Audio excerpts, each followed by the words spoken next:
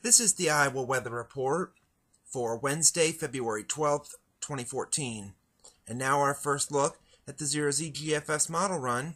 This is at noon today. We have some energy moving through the middle part of the country and a bit of some energy diving into the south, and that's going to be producing a lot of wintry precipitation down there. And around here we have a little bit of a clipper type system moving through that could bring a swath of some light snow Accumulations maybe an inch or two at best. Highs today in the 20s to around 30.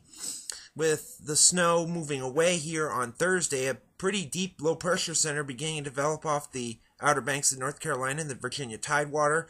Around here, another system could come through, may clip the state with a little bit of flurry activity Thursday into Thursday night and early Friday. During the day on Friday, skies will be partly to mostly cloudy, as the storm will be moving off to the east. Temperatures hmm, likely in the 20s to around 30. But then another snowstorm comes on Saturday. This one could also bring us one or two inches of snow, possibly a bit more, with readings likely in the 20s and lower 30s across the state, warmer southwest, cooler northeast. Then the winds turn southerly here on Sunday, so temperatures should boost well into the 30s across the state here on Sunday.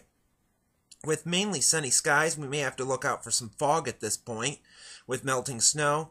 Another system comes through that'll drag some more cold air down here on Monday. That could bring some rain and or snow as the temperatures will be close to or around freezing, so we could see some rain and then snow as cold air comes in.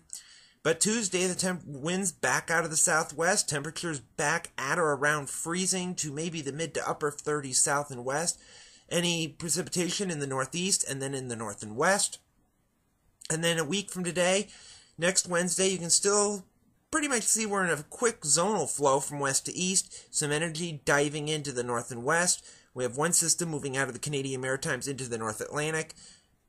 And we still have southerly winds around here. That could boost temperatures into the 30s, maybe 40s.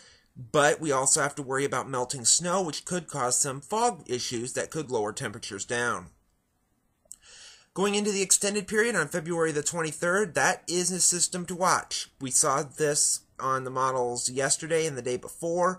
It's still around today. It's a little further south, but this could be a storm we may have to watch that could bring us some snow and could be possibly some heavy snow if this is right, but this is still 10 to 12 days out, so we still have plenty of time to look at this and plenty of time for it to be gone from the model.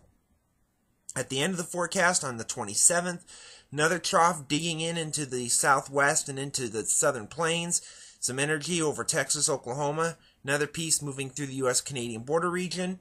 And with that, if these two can link up, we could have another system around. We have some rain in the plains down to the southeast, bit of snow in the northern plains, Minnesota into Wisconsin, maybe a little bit of rain and or snow around here. We'll have to wait and see.